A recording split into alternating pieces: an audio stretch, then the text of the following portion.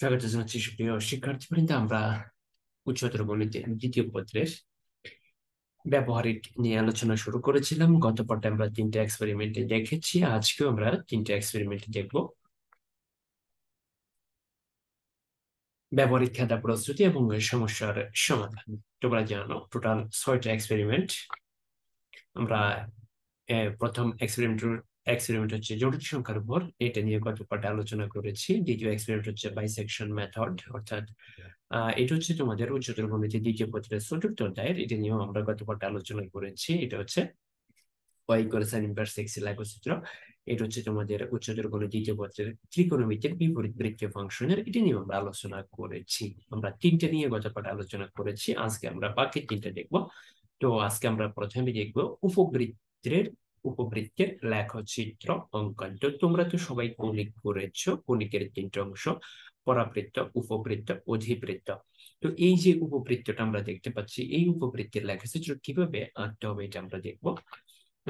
এরপরে আরও দুটো এক্সপেরিমেন্ট রয়েছে, সেটা হচ্ছে স্থিতিবিদ্যা সংশ্লিষ্ট এবং একটা গতিবিদ্যা সংশ্লিষ্ট। দেখো, দুটি বল দেওয়া আছে, তারা পরস্পর পঞ্চাশ ডিগ্রি কোণে ক্রিয়ারত আমাদেরকে লব্ধের মান এবং দিক বের করতে হবে। আর সর্বশেষ যেটা হচ্ছে গতিবিদ্যা থেকে তোমাদের, অর্থাৎ সমতল বস্তুকণের গতি থেকে এই প্রবলেমটা এই ধরনের প্রবলেম কিন্তু তোমরা সিকিউর জন্য সলভ করেছ। তবে আমরা এটা গ্রাফিক্যালি কীভাবে করতে হয় সেটা আজ দেখব।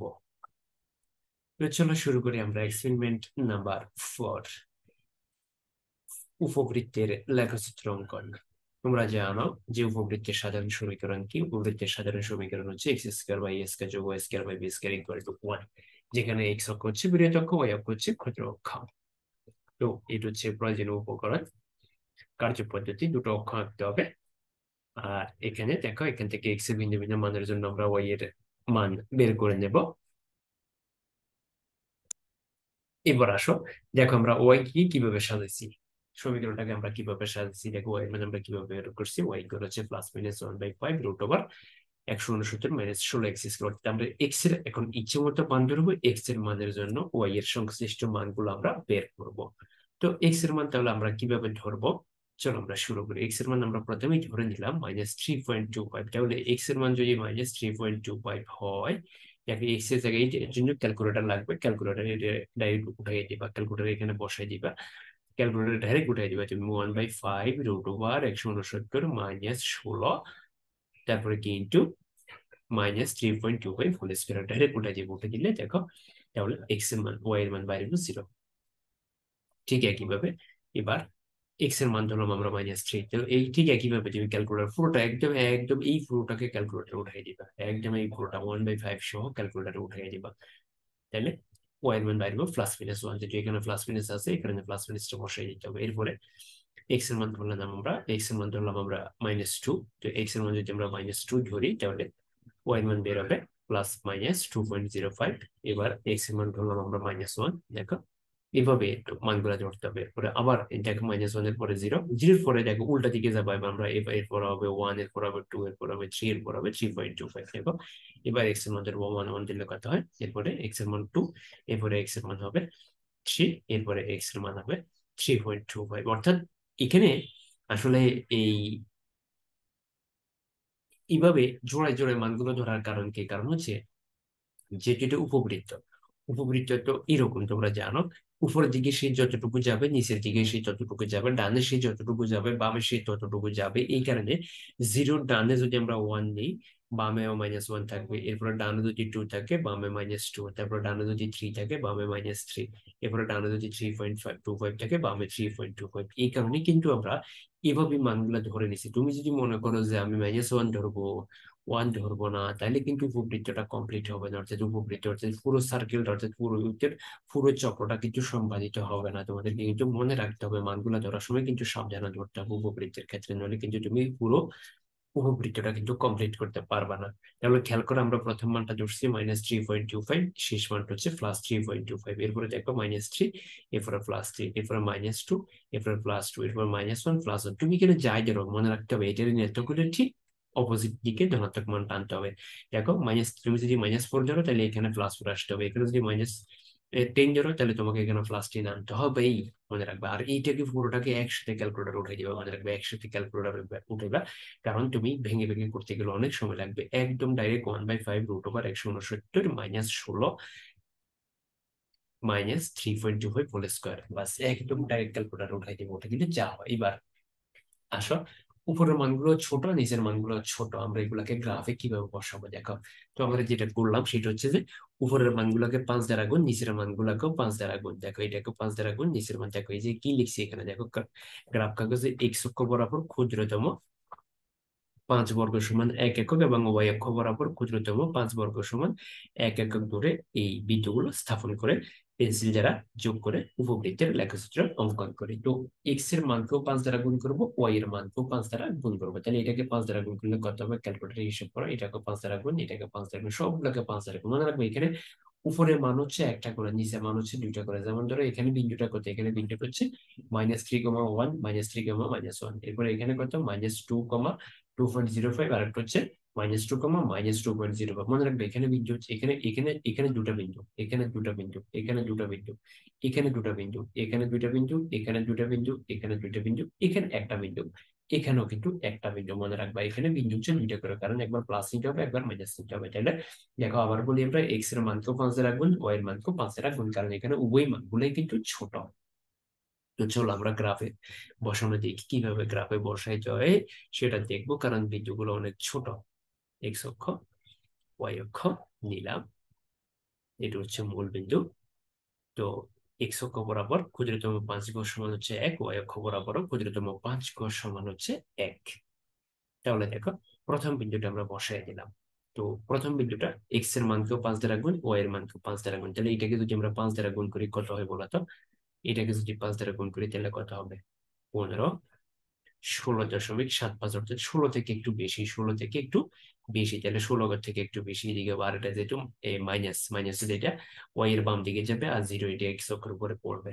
দেখো, তাহলে মনে রাখতে হবে এই মানটাকে পাঁচ দ্বারা গুণ করতে হবে। Minus three point two five কে পাঁচ দ্বারা গুণ করবা minus three point two five কে পাঁচ দ্বারা গুণ করলে যা আসে ঠিক তাই করবা। এটা হচ্ছে ষোলো থেকে একটু বেশি, সামান্য বেশি ষোলো থেকে, তাহলে এখান থেকে গণা শুরু করবা, ষোলো থেকে সামান্য বেশি। তারপরটা হচ্ছে minus three gamma minus one তো minus three gamma minus one মানে এটাকেও পাঁচ দ্বারা গুণ এটাকেও পাঁচ দ্বারা গুণ তাহলে তার মানে কত? পনেরো আর নিচের দিকে পাঁচ। মাইনাস মাইনাস মাইনাস মাইনাস হলে এগোরাই হবে, তোমরা জানো। মাইনাস মাইনাস হলে এগোরা অবস্থান করবে।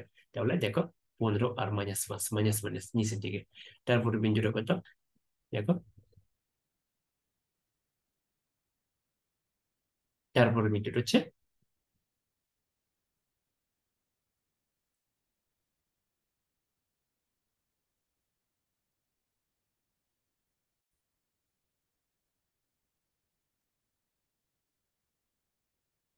তো তারপর বিন্দুটা হচ্ছে minus three comma plus one তো মাইনাস প্লাস টু করে তো দেখো এটাকে পাঁচ দ্বারা গুণ এটাকে পাঁচ দ্বারা গুণ, অর্থাৎ পনেরো কমা ফাইভ এদিক থেকে, এদিকে পনেরো ঘর, আর এদিক থেকে উপরের দিকে পাঁচ ঘর।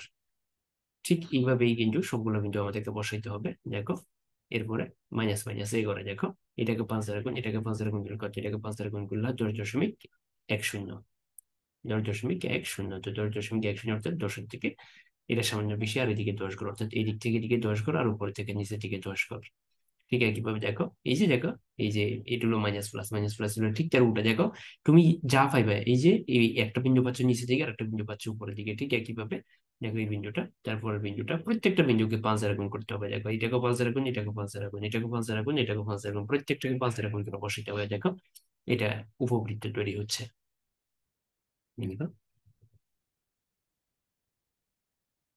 দেখো, এটাকে পাঁচ দ্বারা গুণ পাঁচ দ্বারা গুণ করলে পাঁচ দেখো যে এক, দুই, তিন, চার, পাঁচ, আর উপরের দিকে এটাকে পাঁচ দ্বারা গুণ করলে কত? টু পয়েন্ট ফোর সেভেন এটাকে পাঁচ দ্বারা গুণ করলে পাঁচ গুণে দশ, আর এটা দশে বারো বারো থেকে সামান্য একটু বেশি। তো বারো থেকে যে উপর থেকে উপর থেকে দেখো বারো থেকে সামান্য একটু বেশি। এরপর দেখো এটা প্লাস মাইনাস প্লাস মাইনাস হলে এই করে হবে, আর প্লাস প্লাস হলে এই করে হবে, দেখো। এরপরে দেখো three gamma minus one three gamma minus one কত বলল তো থ্রি গামা মাইনাস ওয়ান হলে হবে একশো অক্ষের দিকে হচ্ছে পনেরো হচ্ছে পাঁচ এখান থেকে এখানে পনেরো এদিক থেকে এদিকে এরপরে দেখো এদিক থেকে এদিকে পনেরো এদিক থেকে এদিকে এবার এটাকে জয়েন্ট করে এরপরে এটাকে হয়? দেখো এটাকে পনেরো দশমিক ষোলো দশমিক দুই পাঁচ। তো ষোলো দশমিক দুই পাঁচ, ষোলো দশমিক দুই পাঁচ মানে ষোলো থেকে সামান্য একটু বেশি সতেরো থেকে কম। দেখো একদম তুমি অপোজিট বিন্দুগুলো পাচ্ছ। দেখো, এই যে এই বিন্দু এই বিন্দুর অপোজিট বিন্দু হচ্ছে এটা। দেখো, এই বিন্দুর অপোজিট বিন্দু হচ্ছে এটা। এই বিন্দুর অপোজিট বিন্দু হচ্ছে এটা। এই বিন্দুর অপোজিট বিন্দু হচ্ছে এটা। এই বিন্দুটার অপোজিট বিন্দু এটা। এই বিন্দুর অপোজিট বিন্দু এটা। ঠিক আছে প্রত্যেকটা বিন্দুর অপোজিট বিন্দু আমরা পাইছি। এখন চাকরিটাকে জয়েন করে দিলে উপবৃত্ত হয়ে যাবে। এটি হচ্ছে আমাদের কাঙ্ক্ষিত উপবৃত্ত।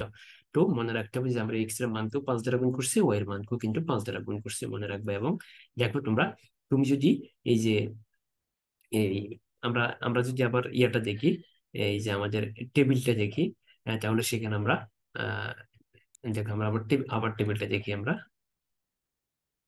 আমরা আবার টেবিলটা দেখি। দেখো আমরা আবার টেবিলটা একটু দেখি।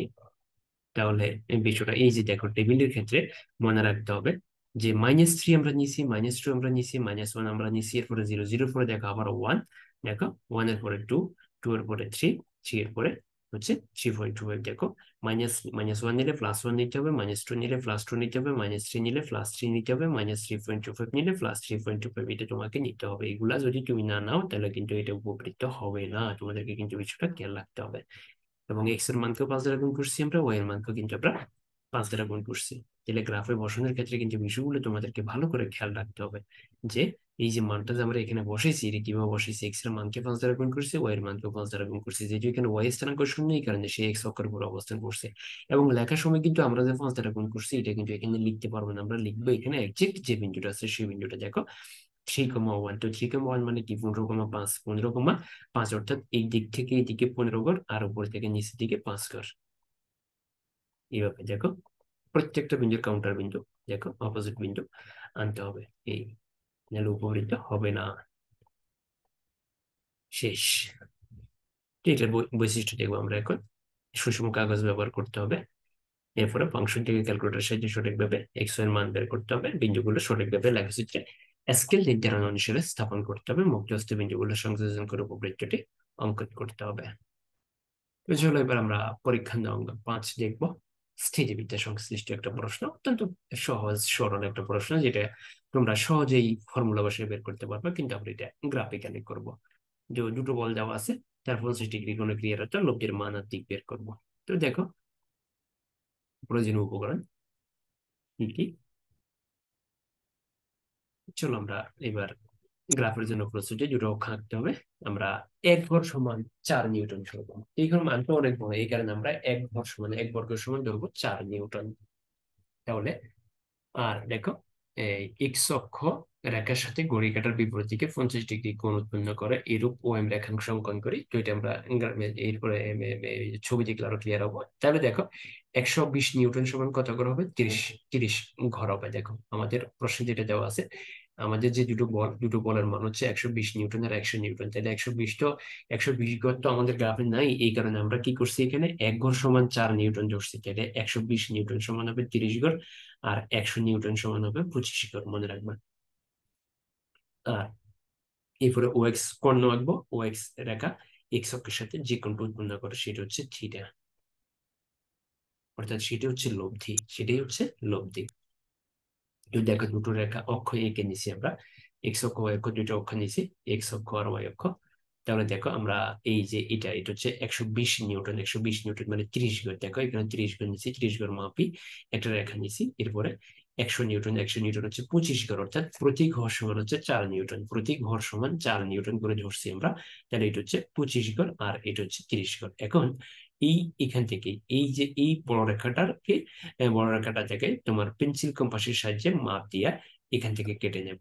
দেখো আবার দেখো, একশো বিশ নিউটন সমান হচ্ছে তিরিশ ঘর আর একশো নিউটন সমান হচ্ছে পঁচিশ ঘর। মনে রাখব, কারণ আমরা এক ঘর সমান, এক ঘর সমান, এক বর্গ সমান চার নিউটন ধরেছি। তাহলে দেখো, বড় রেখাটা সমান, এই যে রেখাটা পেন্সিল কম্পাস দিয়ে মাপবা, মাপি এখান থেকে কেটে নিবা। তাহলে দেখো ওয়ে তাহলে ওয়ে সমান হচ্ছে একশো বিশ নিউটন, অর্থাৎ ত্রিশ ঘর। এবার এই দুটো এই দুটো বলের অন্তর্ভুক্ত কোন কত ডিগ্রি দেওয়া ছিল? পঞ্চাশ ডিগ্রি দেওয়া ছিল। তাহলে এখন এখানে আমরা পঞ্চাশ ডিগ্রি আঁকবো। দেখো, পঞ্চাশ ডিগ্রি মেপে নেব চাঁদের সাহায্যে। আমরা চাঁদের সাহায্যে পঞ্চাশ ডিগ্রি মাপবো।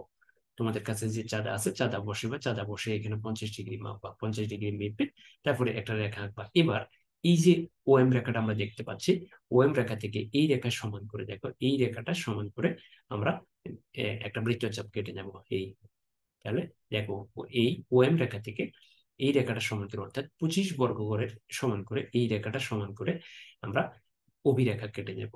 এই অভিরেখা কেটে নেব। এবার আমাদের কাজ হচ্ছে যে সামান্তরিকটাকে কমপ্লিট করা। দেখো, এখন এইটুকু সমান করে এখানে বসে একটা বৃত্তচাপ ভালো করে দেখো আবার। এইটুকু সমান করে এই রেখাটা সমান করে, এই রেখাটা অর্থাৎ অভিরেখা সমান করে এই বিন্দু থেকে একটা বৃত্তচাপ পায় তারপরে ওই রেখার সমান করে বি বিন্দু থেকে একটা বৃত্তচাপ পায় এই বৃত্তচাপ দুটি সি বিন্দুতে ছেদ করবে। এখন আমরা বিসি আর এসি যোগ করে দেব। এই। এরপরে ও থেকে সি যোগ করে দেব। এখন এই রেখাটা এক্স অক্ষের সাথে যে কোনটা তৈরি করবে, সেটাই হচ্ছে আমাদের লব্ধির দিক। এটা চাঁদার সাহায্যে আমরা বের করব। আর এখান থেকে এখান পর্যন্ত এই যে ওসি ওসি রেখার দূরত্ব যেটা, এটা হচ্ছে লব্ধির মান। লব্ধির মানটা এখন আমরা কীভাবে বের করব? তাহলে লব্ধির মান বের করার জন্য আমাদেরকে যেটা করতে হবে সেটা হচ্ছে এই বিন্দু থেকে এই রেখা পর্যন্ত পেন্সিল কম্পাসের সাহায্যে দৈর্ঘ্যটা মাপবো, মেপে আমরা এখানে একটা রেখা আঁকবো, একে দেখব এখানে কত ঘর। যত ঘর তাকে চার দ্বারা গুণ করব। কারণ আমরা এক ঘর সমান চার নিউটন ধরছি, তাহলে আমরা কাঙ্ক্ষিত বল পেয়ে যাব।